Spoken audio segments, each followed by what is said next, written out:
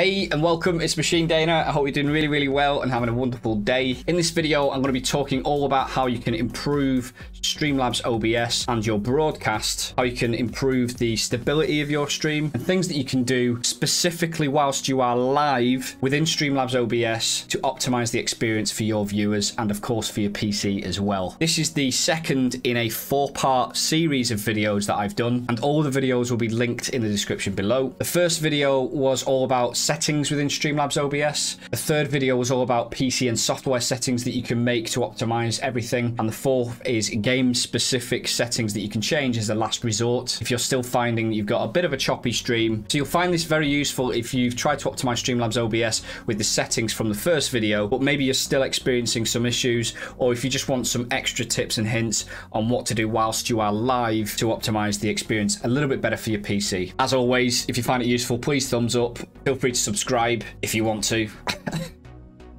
And if you've got any questions, feel free to jump on my Twitch stream. I stream most days at twitch.tv forward slash machine daena. Okay, let's get into it.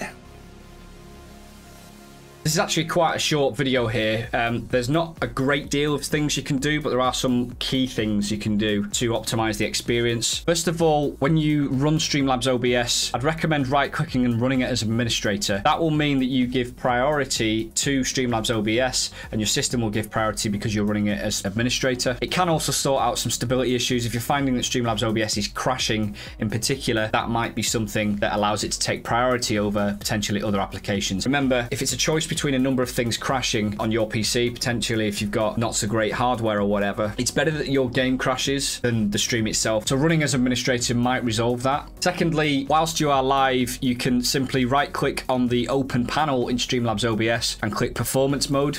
What this does is it just takes away the preview of what's going on in your broadcast. Now, you may be really accustomed to having the preview on, and therefore you might not be comfortable turning that off. What I would recommend here is over time, as you start to get more and more comfortable, desensitize yourself to needing to look at the screen because for two reasons. First of all, you get this performance improvement if you need it. The second reason is you're more likely to then engage better with the camera and the chat if you're not constantly looking at what you're doing on the screen. You're just actually comfortable with viewing things on the screen and, and interacting with the camera. And of course, gaming. You might want to be good at gameplay or something like that. I mean, not for me. The gameplay is definitely not important on my streams. The gameplay is literally the worst part of my streams.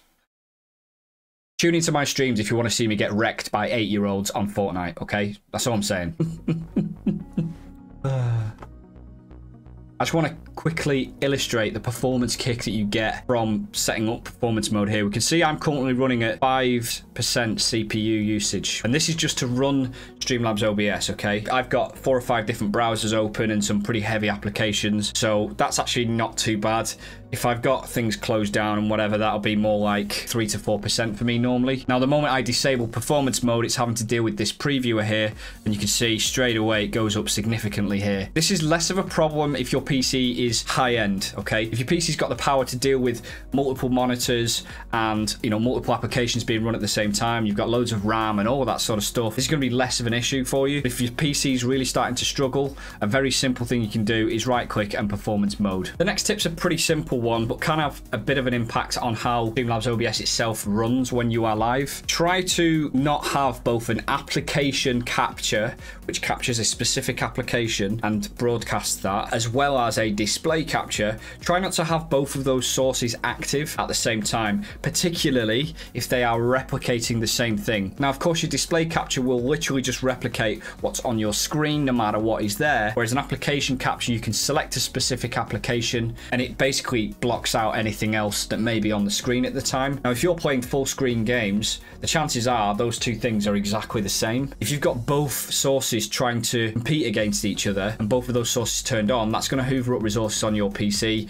It's going to mean that Streamlabs OBS isn't going to work as well. And it also means that you run a small risk, and it is a very small risk if you've got sort of medium to high level hardware. It may crash or you may get frame drops or other issues like that. Just to illustrate this here, if I add a source here and have a display capture and also a game capture, I would have it so that only one of them is turned on with the eyeball and the other one is not. I can't illustrate this without changing scenes because all of my live assets are added as a scene in this section here, live assets. So these are all my base assets and I've added it here as a scene. Which brings me to my next tip. Try to optimize your sources as much as possible. If you've got one source that's being used across multiple different scenes, rather than adding that one source to every single scene, particularly if that one source has got multiple elements to it, it'd be better to add it as a scene of its own. So it's just got all the elements in one scene and then adding the source as a scene here. This is a really good tip, particularly for things like the base assets that you use. So things that you might use across loads of different scenes consistent assets and sources, but also separately, if you use it for, let's say, your webcam, which might have a border, which might have labels, which might have some animation on it, and some other stuff like that, you may want to bundle all of those into one scene of its own and then add that whole collection of sources as one single scene into your live scenes. I think that makes a small performance boost to your Streamlabs OBS, but I also think it makes it easier as well because it then means you only have to make one change if you're making a change to, let's say, for example, the webcam assets. I think it also makes a difference in terms of practicality and how you manage your scenes and sources. Because if you think about it logically, if you're only having to make change to one element, if it's a group of elements, which then applies to all of your live scenes, you're going to have a consistent experience across all of those scenes for those bundles of elements. And it also means you'll probably save time because you're only making the change once on one scene, and that then applies elsewhere. There are some other benefits to doing that, particularly if you're into using different camera angles for the same camera source and things like that, but I'm not going to get into that in this particular video. Another tip, a little bit along the veins of that, is to definitely delete and remove any sources that are not being used. If you think that you're going to use the sources again in like a month or two, it's normally worth just dumping them in a completely different scene here out the way if you're not using them regularly. So you can still have those same sources within Streamlabs OBS, but on your live scene, you want to minimize the number of sources that you're using, particularly if you've got a sort of low to middle end PC, or if you're experiencing performance issues, frame drops or stream lag and stuff like that. It's always easy when you first start streaming to just try and throw the kitchen sink at it. Loads of different sources, loads of browser sources, every single widget under the sun. My personal feeling is that simplicity is massively underrated. The more simple and clean you can keep your stream, in my opinion, the higher quality your stream will be. But that's of course personal preference. One thing's for sure though, the more sources you add to a particular scene, the more resource that uses up within the software and the more processes that are going on from that application. And therefore, there's more of a risk that you are going to get stream lag, stream issues, and stability issues. It's also just useful to continually evaluate how much or little your sources are being used. For instance, I've got the Streamlabs OBS Stream Boss that's on my stream, but lately I've found in the last month or two it's not really being used a lot, and therefore I'm considering just removing it. Having it in the stream doesn't seem to make a lot of sense to me anymore. And as time goes by, you may find that certain scenes or certain sources that you have are just not as important as they were when you first had them.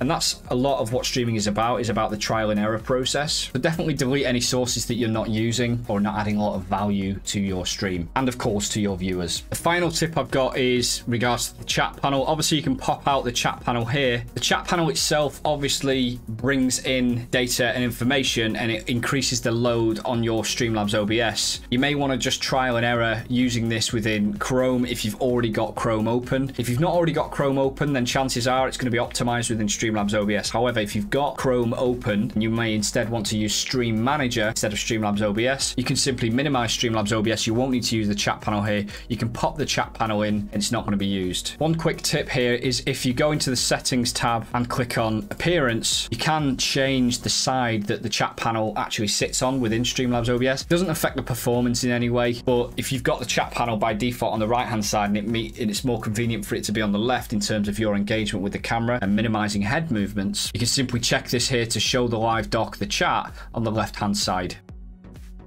So there you have it. Hopefully you found that really, really useful. Streaming is not just about how you optimize your Streamlabs OBS settings. That's important. That's very important, actually. And that's the first video that I've done in the series. This is the second video in the series that has allowed you to hopefully think a little bit more about the specific things that you do inside Streamlabs OBS whilst you are live. And those things can definitely impact your stream, which is really important because you don't want to turn viewers off. It's already competitive enough on Twitch without having issues with your stream itself, the quality that is. Don't forget to check out the other three videos in the series that I mentioned earlier. They're all linked in the description. Once again, feel free to like the video, feel free to sub, and of course, have a wonderful day. See you later.